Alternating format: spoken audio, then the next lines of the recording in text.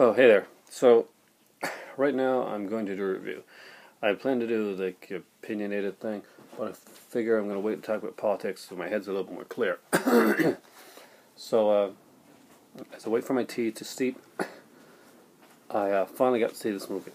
Now, I, I have to preface this by saying there is a slight bias here. I have, I'm a huge fan of the uh, Planet of the Apes films.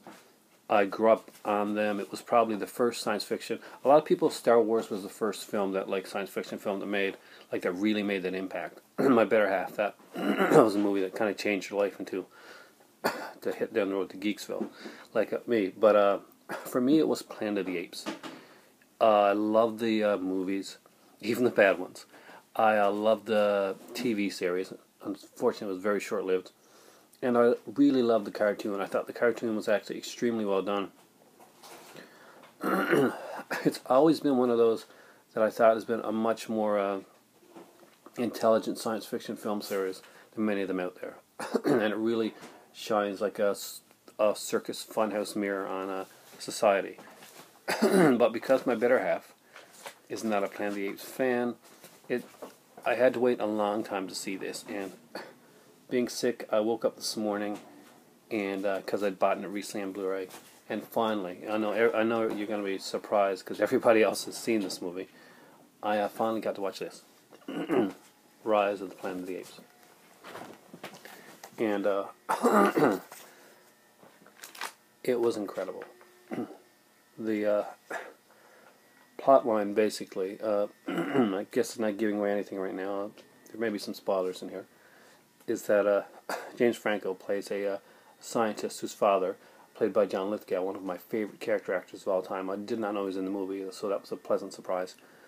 he is uh, been stricken with Alzheimer's, and it has gotten really, really bad to the point where uh, life for uh, with him has become almost unbearable for him and for the the the one that works with him. He has been working as a scientist trying to uh, cure Alzheimer's. He's been using uh, chimpanzees, orangutans to a uh, to get the uh, to get to that spot. So finally, at the beginning of the film, they've come upon this miracle drug that has increased the intelligence of this ape dramatically. Now uh, he goes straight to his uh, his boss Jacob, who's uh, I think it's Jacob anyway, not sure, who's a uh, who's a corporate bastard basically, and he cares about like the the numbers. So, while James Franco is out there telling his uh, telling them about this new miracle drug.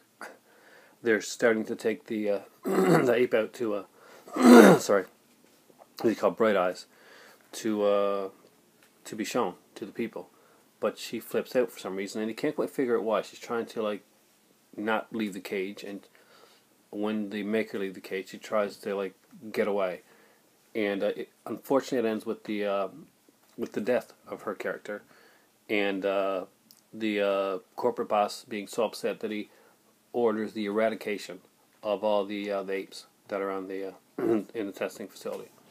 Now, the the scientist that works with James Franco is played by Tyler, sorry, played by Tyler who, of course, is in shows like Reaper and stuff like that, and he notices after all the rest of the apes have been uh, killed that she didn't, she wasn't violent, she wasn't reacting to some sort of like offshoot from the medicine. She was protecting her baby. She was, she just had a, a baby, and they uh, managed to whisk the baby out, and he stays with James Franco, which is only supposed to be temporary, but uh, turns into a permanent thing.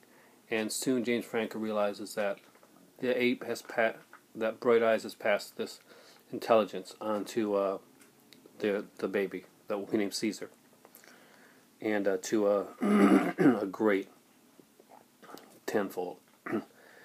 uh, Caesar is an extremely intelligent uh, little guy, and as he grows, they realize that uh, he sneaks some stuff out, uses it on John Lithgow, and not only does it cure his Alzheimer's, but it makes him a lot smarter.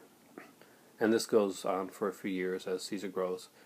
But unfortunately, after a while, it's found out that the drug, which is great for apes because they have a great, uh, like a different immune system and a much better immune system than ours, they can fight off any this here thing is a but we as as humans see it as a virus, and we fight it off and end up worse off afterwards. So unfortunately, John Lithgow's character ends up uh, back worse than ever. Think of uh, Flowers of Algernon, and uh, Caesar when uh, is trying to protect John Lithgow when he gets back into one of the states of Alzheimer's, the kind of a dementia thing from a uh, a prickish neighbor. He uh, he gets taken away by animal control and is stuck in a uh, in this uh, facility where they're uh, treated horribly and tortured, and some of them are actually snuck out in the middle of the night, either dead or drugged and taken somewhere else, and he's not sure where yet, but he wants to find out where. Now James Franco was trying to get Caesar back, but he's been he's been distracted by his father's worsening condition, and he works on making an even stronger uh, drug to uh, to help his dad. Unfortunately, it doesn't work, and his father does die. but it does make the the apes hyper intelligent, and uh, the uh, boss does all kinds of like cruel testing on these apes. We don't see it, but we're kind of shown that it happened. We see one ape with like a, has a scarred face. Obviously, the one that's gotten the worst of it, the uh, patient zero, if you will, for uh, uh in this case, because they don't know about us. Caesar, Caesar's been taken away to a, and uh, Caesar realizes how bad that they've been treated and how they're subjugated, and he tries to uh, gather them into like a, a, group. But unfortunately, he has the intelligence, and he meets a circus ape that kind of has intelligence as well uh, not from a drug, but from being around and learning from signing that. I'm named uh, Zaius.